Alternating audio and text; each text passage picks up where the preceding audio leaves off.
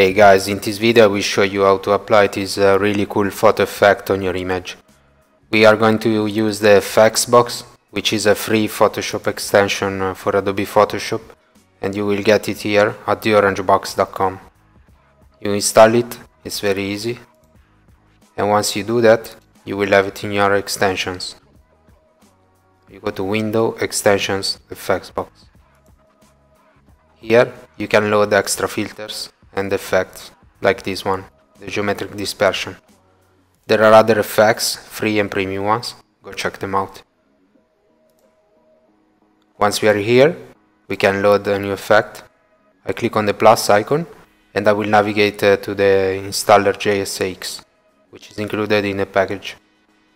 I double click and I will install this effect. Now we are going to use it on a photo.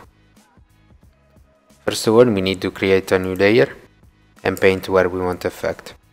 We can use any tool we want at this stage, the pen tool, the lasso tool, the channels, and the selection that we do will uh, influence uh, the final result. We make sure that it is selected in the layers panel and then we select the geometric dispersion effects and apply this effect.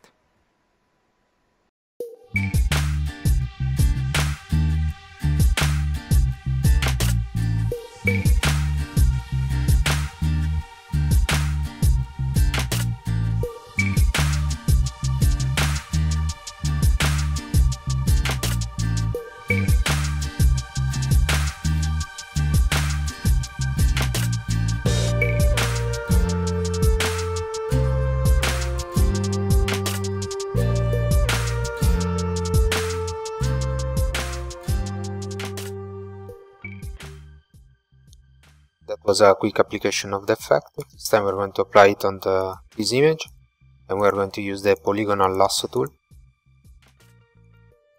Polygonal lasso tool uh, in this case for this action script is uh, quite useful because it creates a very rough selection of the subject. Also you want to try and uh, create this, um, uh, this mask, this selection so that is not very bulky it's quite linear like uh, in this case. So it will create a sense of uh, movement and direction to your photo. So once you create the selection you just make a new layer and fill it uh, with any color. Once you've done this you just select the geometric dispersion effects. Be sure that this layer is selected in the panel. And then click apply this effect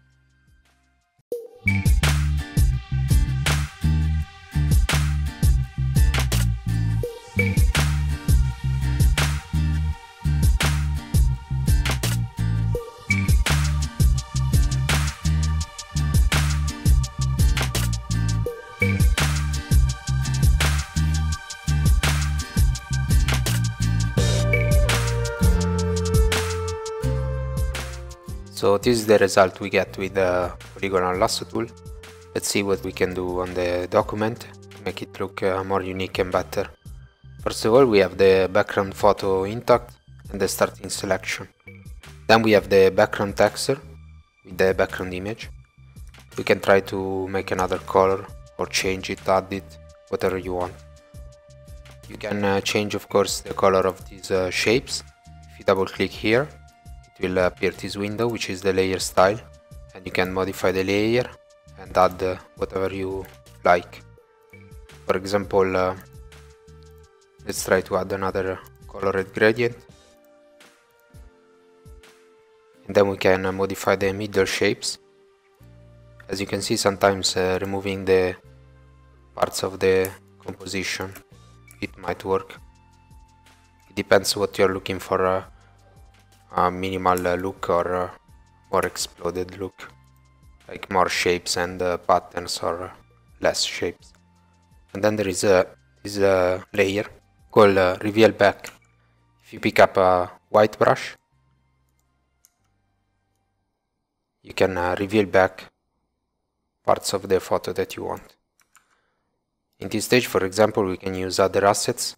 Like uh, I've got these free splatter brushes in my library and I can use this uh, to reveal back parts of the original photo and create even more uh, interesting uh, effects. So from now on this is the final uh, document so you can modify and do everything you you feel uh, looks good with your photo.